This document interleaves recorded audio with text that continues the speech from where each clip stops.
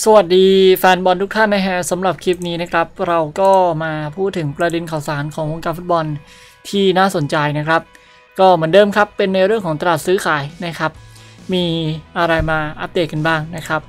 ประเด็นเรื่องแรกนะครับ เล่นมาจากสื่อโปรตุเกสนะครับ มีการรายงานการออกมานะครับในเรื่องของ Sporting Lisbon มีโอกาสปล่อยตัว Bruno Fernandes นะครับในช่วงมกราคมนี้นะครับ ซึ่งตอนแรกเนี่ยบอกว่าน่าจะมีการปล่อยตัวหลังจากจบฤดูกาลนะครับ แล้วก็ในเรื่องของการยืนยันของนักเตะก็ยังไม่ชัดเจนด้วยนะครับ แต่ว่าตอนนี้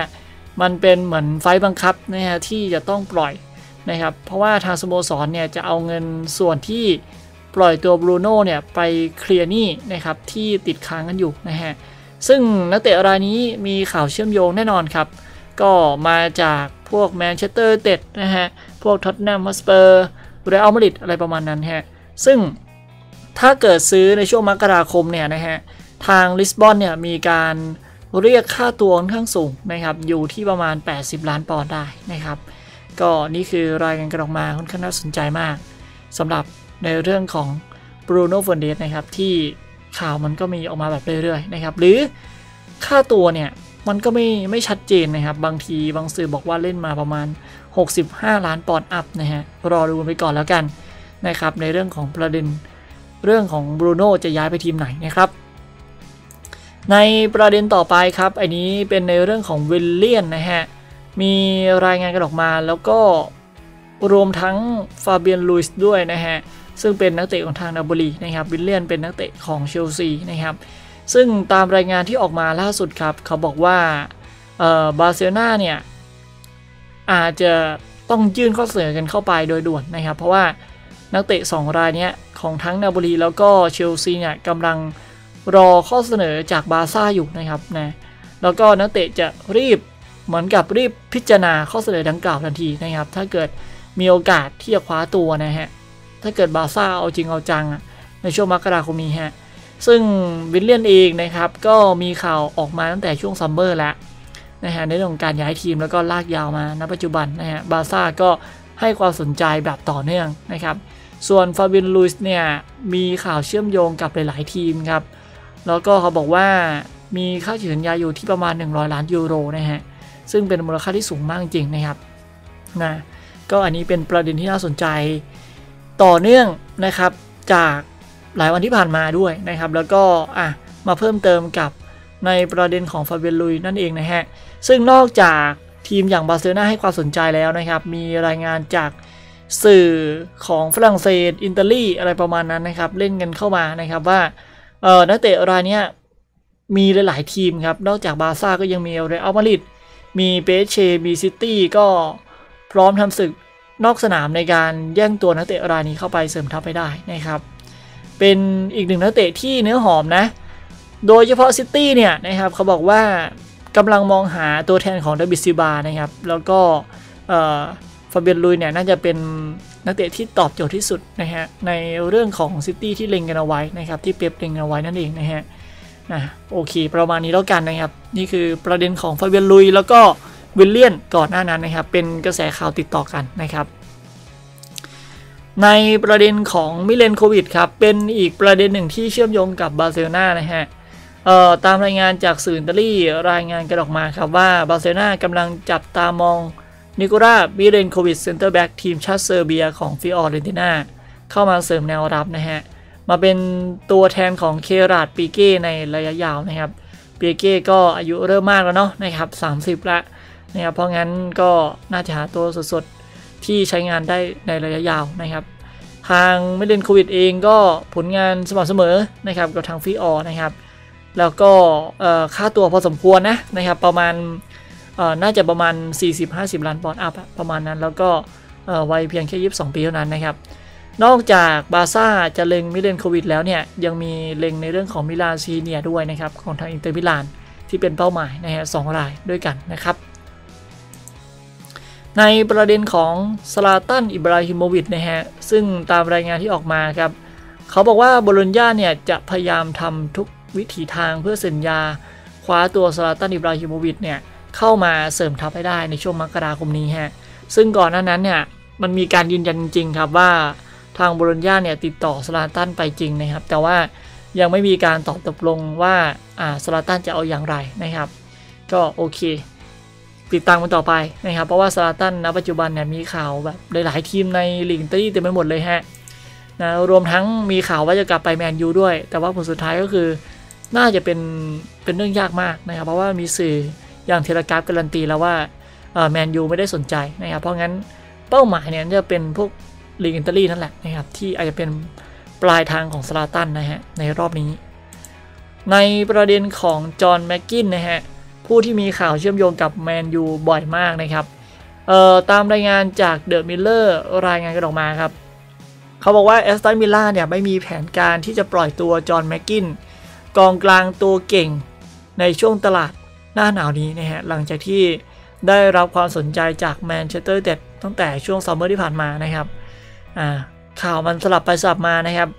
ก่อนหน้านั้นไม่กี่วันน่ะมีข่าวมาว่าทางวิลล่าพร้อมปล่อย แต่ว่าต้องมาในราคาแบบ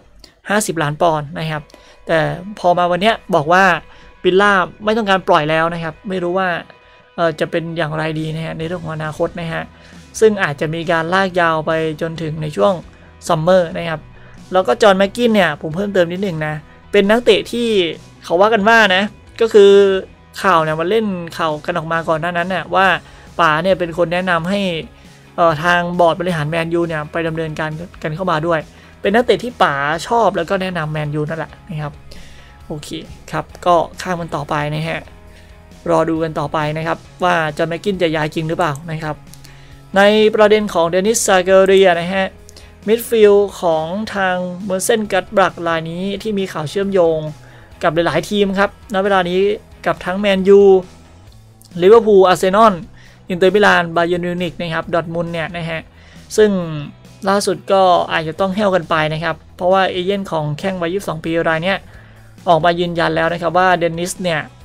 ไม่ไม่ต้องการย้ายออกจากทางเมินเช่นกลัดบัค อย่างแน่นอนในช่วงตลาดซื้อขายกลางฤดูกาล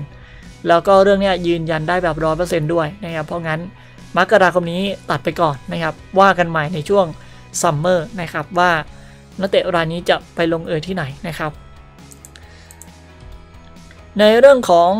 ทางโตนาลีนะครับมิดฟิลด์ดาวรุ่งนะฮะซานโดรโตนาลีเนี่ยนะฮะที่มักจะมีข่าวเชื่อมโยงกับหลาย ๆ ทีมในพรีเมียร์ลีกอังกฤษแล้วก็ในยุโรปนะ ในอังกฤษก็จะมีพวกแมนยูลิเวอร์พูลอาร์เซนอลนะครับสเปอร์นะฮะในอิตาลีก็จะมีนาโปลีอินเตอร์ยูเวอะไรประมาณนั้นนะครับในฝรั่งเศสก็เป็นเปแอสเชนะครับซึ่งล่าสุดเนี่ยก็ตกเป็นข่าวครับเตรียมเปิดศึกกับแอตมาดริดแล้วก็อีกหลายทีมนะสำหรับยูเวในการล่าตัวซานโดโทนารีนะครับกองกลางดาวรุ่ง เนื้อหอมของเบชารายนี้เข้าไปเสริมทัพนะฮะก็ราคาค่าตัวอย่างน้อยเนี่ยน่าจะอยู่ประมาณ 40 ล้านยูโรได้นะครับตาม รายงานของสื่ออิตาลีที่เล่นกันออกมานะครับ ติดตามกันนะฮะในประเด็นของบรูเซียดอทมุนนะครับ ทีมจากลีกเยอรมันนะฮะแล้วก็เล่นมาจากสกายเยอรมันด้วยนะครับ เครือเดียวกับสกายปอร์ตนะฮะมีความน่าเชื่อถือค่อนข้างสูงมาก เขาบอกว่าบูเซียดอดมุนมีการเปิดฉากติดต่อเอเมเดชานกองกลางทีมชาติเยอรมันของทางยูเว่แล้วนะครับหวังว่าจะมีการคว้าตัวมาเสริมทัพให้ได้ในช่วงมกราคมนะฮะ ซึ่งนักเตะรายนี้ก็ดูเหมือนว่าไม่ค่อยได้รับโอกาสมากพอนะครับในยุคของซารีในช่วงฤดูกาลนี้แล้วก็เจ้าตัวไม่มีความสุขด้วย ถึงขั้นที่มีข่าวว่าพร้อมย้ายเต็มที่แล้วนะครับ ซึ่งมกราเนี่ยน่าจะย้ายจริงนะครับเอ่อก็มีความเป็นไปได้เหมือนกันที่จะไปบาเยิร์นมิวนิกด้วยนะฮะแล้วก็ส่วนแมนยูเนี่ยผมคิดว่าน่าจะยากอยู่พอสมควรนะครับ เพราะว่าคือมันมีเหตุผลหลาย ๆ อย่างนะฮะที่ เอ่อไหนจะเอ็มเรชานเป็นอดีตนักเตะของลิเวอร์ด้วย การย้ายไปแมนยูคู่อริเก่าของเอ่อลิเวอร์พูลเนี่ยมันมันก็เลยทำให้ข่าวเนี่ยมันมีความเป็นไปได้ค่อนข้างน้อยที่เอเมริชันจะย้ายไปแมนยูนะครับในช่วงมกราคมนี้นะแต่ก็ถือว่าตัดชื่อแมนยูออกไม่ได้บางทีเอเมริชันอาจจะไม่สนใจเรื่องของของการที่จะเป็นคู่หลีกแต่อย่างใดนะฮะอออาจจะมีการย้ายมาแบบ ก็ผมอยากเล่นอยาก มีโอกาสลงสนามแบบต่อเนื่องผมก็เลือกย้ายมาแบบเนี้ยนะครับอาจจะมีอารมณ์แบบนั้นเกิดขึ้นก็ได้นะครับ ใครจะไปรู้นะฮะแต่ว่าตัวเต็งแน่นอนครับสกายเยอรมันเล่นมาแบบนี้ ผมคิดว่าน่าจะเป็นดอร์ทมุนด์กับบาเยิร์นนะฮะในเรื่องอีกเรื่องหนึ่งนะครับที่เล่นมาจากสกายสปอร์ตครับเป็นข่าวเกี่ยวกับดาวรุ่งของทางเรดดิ้งอย่างแดนนี่โลเดอร์นะฮะเป็นกองหน้าดาวรุ่งนะฮะ นะก็มีรายงานจากสกายสปอร์ตรายงานกันออกมาครับว่าแมนเชสเตอร์ยูไนเต็ดเนี่ยกำลังพิจารณาดึงตัวโลเดอร์จากเรดดิ้งครับ แบบไม่มีค่าตัวฮะ ซึ่งนักเตะเนี่ยจะหมดสัญญาแล้วนะครับ หลังจากจบฤดูกาลนี้เขาบอกว่าโซลชาเนี่ยประทับใจฟอร์มนักเตะรายนี้ตั้งแต่ช่วงเดือนมกราคมฤดูกาลที่แล้วนะฮะ แล้วก็ต้องการเซ็นนักเตะรายนี้เข้ามาเสริมทัพให้ได้นะครับ จริงๆแล้วโลเดอร์เนี่ยเคยเกือบได้ย้ายไปวูล์ฟแฮมป์ตันด้วยนะฮะ แต่ว่าในช่วงซัมเมอร์นั้นเนี่ย เหมือนกับว่าทางเรดดิ้งมีการโก่งราคาค่าตัววูล์ฟแฮมป์ตันสูงเกินไป ก็เลยทำให้ดีลล่มกันไปนะครับ ก็อดย้ายนั่นเองตามระเบียบนะฮะโอเค ก็ประมาณนี้ครับ ตอนนี้แมนยูรอเซ็นแล้วนะครับ ในประเด็นสุดท้ายครับ เป็นในเรื่องของเรเนียเชซุสนะฮะมิดฟิลด์ดาวรุ่งนะครับนะเป็นนักเตะดาวรุ่งของ ชาติบราซิลแล้วกันนะครับ แล้วก็ได้รับความสนใจจากซิตี้จากลิเวอร์พูลยูเวนตุสแล้วก็เรอัลมาดริดรวมไปถึงแอตมาดริดแล้วก็มีอาร์เซนอลด้วย ตามรายงานที่ออกมาครับ เขาบอกว่าตอนนี้ตัวเต็งจริง ๆ แล้วเนี่ยไม่ใช่ทีมที่ผมอ้างมาเมื่อกี้เลยนะครับตัวเต็งจริง ๆ เนี่ยเขาบอกว่าเป็นอาร์เซนอลครับ เป็นม้ามืด ที่ดูเหมือนว่าจะมีโอกาสพาทางเรเนียเชซุสเนี่ยเข้าไปเสริมทัพได้นะครับ เนื่องจากว่าทางอาร์เซนอลเนี่ยมีการมีการเข้าพูดคุย มีการแบบส่งตัวแทนเข้าไปพูดคุยกับพ่อของดาวรุ่งรายนี้ ในเรื่องของความเป็นไปได้ในการดึงดาวรุ่งรายนี้เข้ามาเสริมทัพให้ได้นะครับ อันนี้ก็น่าสนใจครับ เป็นรายงานที่อาจจะทำให้อาร์เซนอลปาดหน้าหลายๆทีมนะครับที่ให้ความสนใจได้เลยนะฮะโอเค ก็ประมาณนี้แล้วกันนะครับ นี่คือประเด็นข่าวสารในเรื่องของตลาดซื้อขายนักเตะที่ผมเอามาพูดถึงกันนะครับ แฟนบอลคิดเห็นอย่างไรก็ อย่าลืมคอมเมนต์กันเข้ามาได้ ใครชอบก็ฝากกดไลค์กดแชร์กดติดตามกันด้วยแล้วกันนะครับหนึ่งไลค์หนึ่งแชร์เป็นกำลังใจที่ดี ให้กับผมนะฮะขอบนะครับ แล้วเจอกันคลิปหน้านะครับ